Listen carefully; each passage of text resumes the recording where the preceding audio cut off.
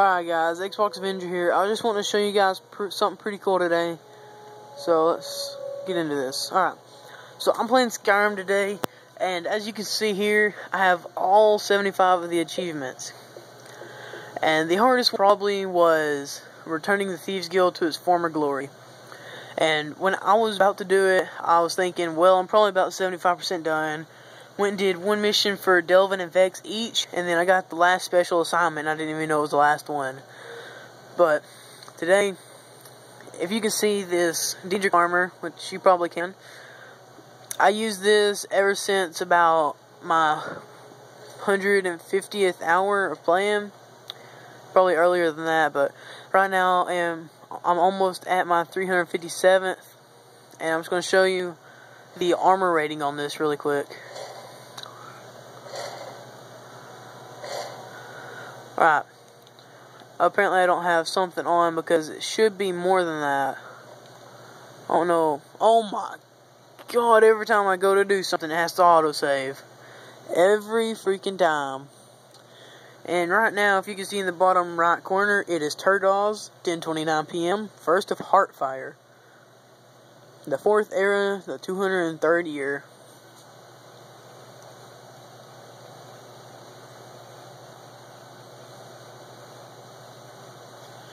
Now I've actually found out how to get past level 81 and a half, if you can see it on the bottom.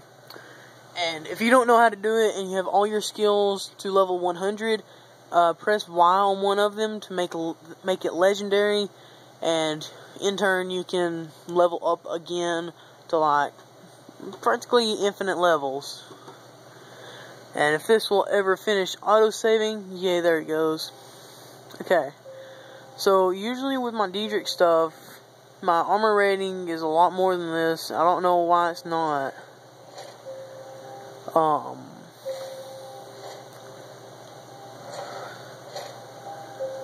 It was just more than this. That's gonna get on my nerves. Okay, there it is. It popped up finally.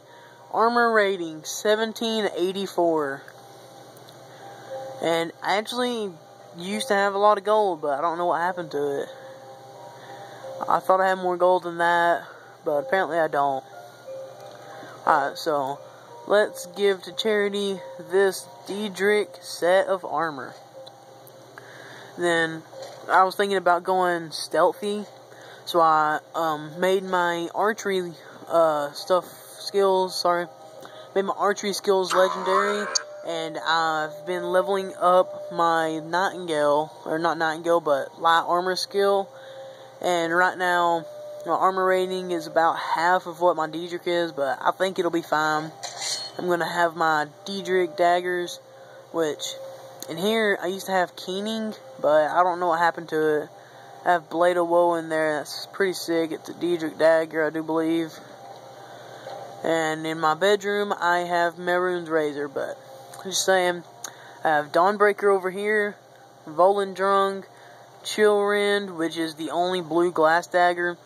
And there's my Daedric sword I used for a long time. Whenever the upgrades are completed, like whenever I equip my ring and my uh, necklace that I have on right now, it actually makes the sword about 500 damage, somewhere in there.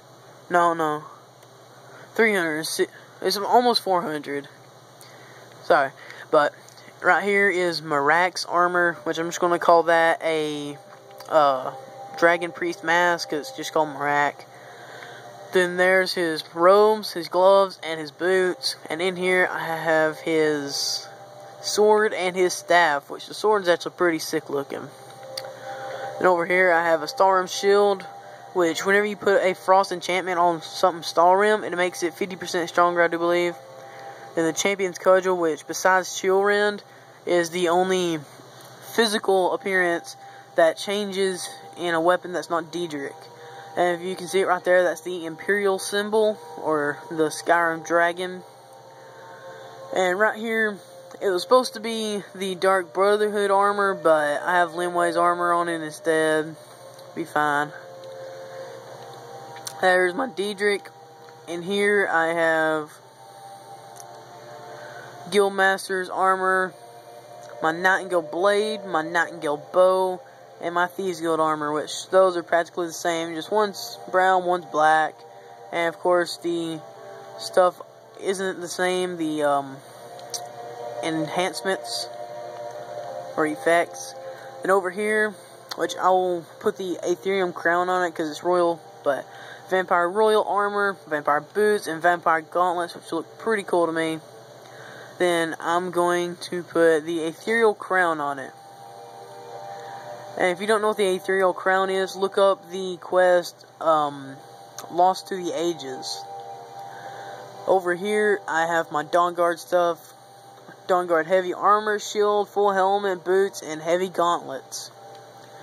Then in the cupboard, or cupboard, I have my Dawnguard helmet, gauntlets, boots, war axe, which does additional damage to vampires and armor. Then my Nordic shield, which I think looks pretty sick to me. Which, sorry, in my opinion, it looks pretty sick.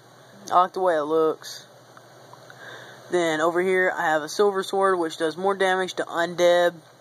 Uh, Dawnguard War Axe, which was in there, it does more damage to vampires. Crossbow, which in the Dawn Guard's opinion, it does more damage to vampires than Auriel's bow. Okay, Auriel's bow is pretty awesome. If you shoot at the sun, well, am I in peril? If you shoot the sun with this, I actually haven't tested it. I just lost one of my arrows. I don't know how, but uh, apparently you uh, attack nearby targets by shooting the sun with the Auriel's bow. I haven't tried it yet. And I thought I had Mehrunes Razor in the other room, but I probably picked it up because Keen was missing, and that's really going to make me mad. But, anyway, I'm actually going to put Harkon Sword, which absorb 15 points of health, magic, and stamina if wielded by a vampire, which I am a vampire. Yay. I'm going to leave it on that rack for now. I'm going to re-equip my Daedric Dagger. And there's my crossbow, which I have enhanced to do 92 extra points of damage by uh, burning and frost. Then this is Serana's blood on it, and if you shoot at the sun, it actually makes it red and the sky red. And uh, yeah, I think that's the rest of my tour for my armory, besides the Blade of Woe, which I already pointed that out, never mind. And I guess I can search this cupboard for the sake of it. The Shield of Ysgramor, Bone-Hawk Amulet, Nordic Carved Helmet, uh, Ancient Falmer Gauntlets, Boots, and Cuirass. And yeah, that's actually the end of it. And I just want to say, if you've ever been in Calixto's something in um, Windhelm, I think it is. I'm not exactly certain. But wherever it is, if you go in there, you will find Ysgramor Soup Spoon, which Luckily for him, he probably didn't eat that much soup because it was a golden fork. And yeah, I'll probably do a tour of my bedroom. Can't see in there, sorry. You might have saw the bed, but that's fine. And uh, yeah, I'll eventually do a tour of the bedroom probably. And this is Lakeview Manor. This is the house in Falkreath or Falkreath.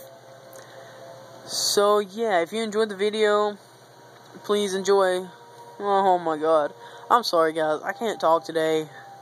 If you enjoyed the video, please leave a like, comment, or subscribe. It'll really help out. And yeah, I'll catch you in the next video. Peace out.